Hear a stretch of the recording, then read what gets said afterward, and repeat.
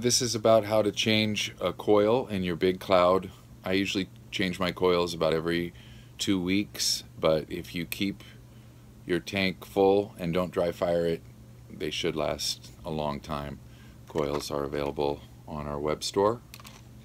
So you're going to want to take your tank off the mod, hold it upside down if there's any juice left in there, and hold the middle and take the base off. I'll set that aside, and then I usually use a paper towel to hold it, unscrew it. You've got a new one here. Just screw it right into the base. And you want to prime it, a few drops right in the middle, get the cotton wet. Put it back on the tank, tighten it down. My tank's already kind of half full, so don't need to add any more right now. Put it back on the mod. Usually good idea to wait about a minute before you vape.